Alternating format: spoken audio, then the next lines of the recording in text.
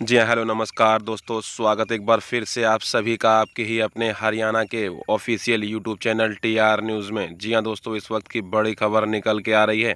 हरियाणा से, जी हाँ मैं बता दें खरीद न होने से मंडियों में भींगा धान। आज सीएम आवास और सांसदों विधायकों के घर घेरेंगे किसान। जी हाँ हम आपको बताते हैं इस वीडियो में विस्तार से। वीडियो शुरू करने से पहले हमारी रिक्वेस्ट है कि अगर आप चैनल पर नया हैं तो प्लीज़ टी आर न्यूज़ को सब्सक्राइब करके बेल आइकन को प्रेस कर दें ताकि आने वाली सभी लेटेस्ट वीडियो सबसे पहले मिले। जी हाँ चलिए शुरू करते हैं। जी हाँ एक अक्टूबर से खरीद टलने और अनाज मंडियों में धान भीगता देख किसानों में उबाल आ गया। कुरुक्षेत्र और करनाल में जमकर हंगामा किया।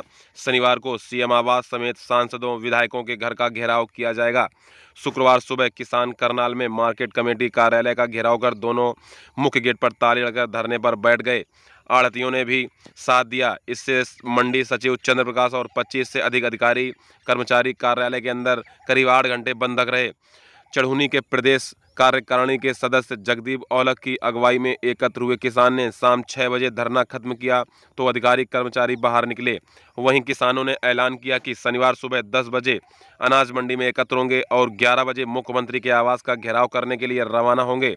उधर कुरुक्षेत्र में धान खरीद टलने से नाराज़ किसानों ने बीआर चौक पर जाम लगा दिया। नायब तहसीलदार जयवीर रंगा और एएफएसओ के अनिल वर्मा किसान को समझाने पहुँचे। दोनों अधिकारी कुर्सी पर बैठकर उनकी बातें सुन रखने लगे तो कुछ किसान भड़क गए। दोनों अधिकारियों से कुर्सी छीन ली और अपने बीच बिठा लिया। इस दौरान पुलिस भी बेबस नज़र आई। करीब पौने घंटे के बाद अधिकारियों ने डीसी से मुलाकात कर खरीद सुरने का, खरीद शुरू करने का बहाना बनाकर अपनी जान छुड़ाई। इसके बाद अफसरों के वापस नहीं लौटने पर नाराज़ किसानों ने ब्रह्म सरोवर का ताला तोड़कर परिसर में ट्रैक्टर टाली खड़ी कर दी।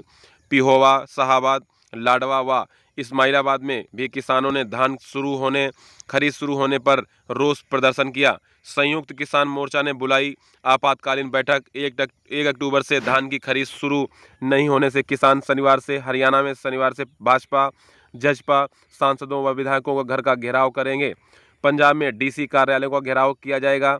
यह फैसला शुक्रवार को कुंडली बॉर्डर पर संयुक्त किसान मोर्चा की नौ सदस्यीय समन्वयक समिति की आपातकालीन बैठक बुलाकर लिया गया। किसान नेताओं ने कहा, धान की खरीद जल्द शुरू कराने के लिए प्रदर्शन जारी रखेंगे। धान खरीद एक के बजाय 11 अक्टूबर से करने से किसान में सरकार के खिलाफ खासी नाराज़गी है। वहीं सरकार हर रोज नए बहाने बना रही है। धान खरीद में अनावश्यक देरी किए जाने से सरकार का किसान विरोधी चेहरा एक बार फिर सामने आ गया है। सरकार खरीद को लेकर हर रोज नए बहाने बना रही है। अब सरकार द्वारा प्रति एकड़ 25 क्विंटल से अधिक धान की खरीद न करने की बात कही जा रही है। मंडियाँ धान की फ़सल से भरी पड़ी हैं।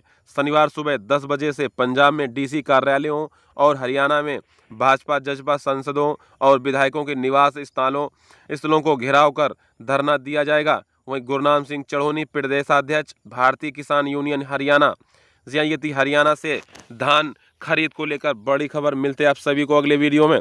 तब तक टीआर न्यूज़ के साथ बने रहिएगा। चैनल को सब्सक्राइब करके बेल आइकन को प्रेस कर दीजिएगा ताकि आने वाली सभी लेटेस्ट वीडियो सबसे पहले मिले। जी जय हिंद, जय भारत।